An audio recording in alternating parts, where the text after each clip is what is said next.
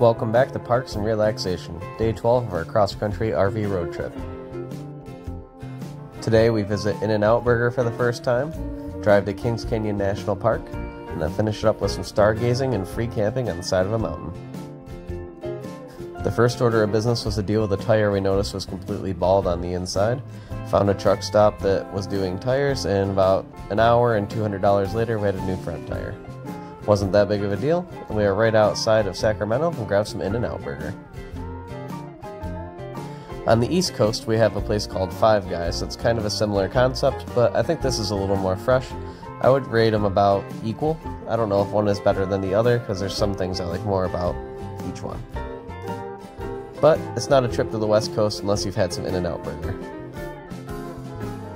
It was about a five hour drive from there to get to Kings Canyon National Park. It was weird going from the coast and all that scenic area into back into the city in Sacramento and Fresno and all those types of areas. The General Sherman Highway that brings you to both the Giant Sequoia National Monument, Kings Canyon National Park, and Sequoia National Park is very twisty, and I would not recommend taking an RV over 21 foot. But ours is 32 and decided to do it anyway. We worked out okay, but we did have to back up through a couple of the switchbacks. This video, the portion of the road was quite easy. It's the second half of this park that will be shown in the next video that's the treacherous one. Kings Canyon National Park is one of the least visited in the whole US. It's actually home of General Sherman Tree, which is the largest tree in circumference, but not the biggest tree in the world. It's a half mile hike and well worth doing. We got some family photos in front of it. We were all quite tired from the few days of hardcore adventuring before this and knew we wanted to get in a little early to have a nice dinner and relax and watch the sun go down. Kings Canyon and Sequoia National Parks have some of the best star views in the entire US with almost no light pollution. We wanted to make sure we got set up and get some great photos. What's kind of fun is inside the Kings Canyon Park they have one of the redwoods or giant sequoias, one of the two, I don't remember which one. Either way, it's hollowed out so you can actually play and walk through it.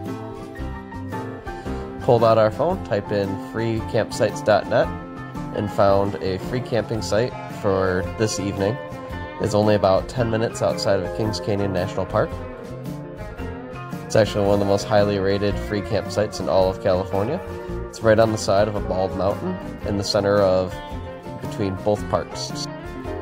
Kings Canyon and Sequoia National Park are actually adjoined and considered one park on most the databases, but it's actually two parks with a 10 mile uh, twisty road between them that's quite difficult to navigate. This campsite is on road US Route 11 S14 Forest Road. As we were cooking dinner and enjoying the views, we could tell already that it was going to be quite the night. As the sun went down, the stars came out. With nobody around and absolutely no city for an hour in any direction, you could see the Milky Way perfectly. These were taken at about midnight, using only a cell phone. It was that clear.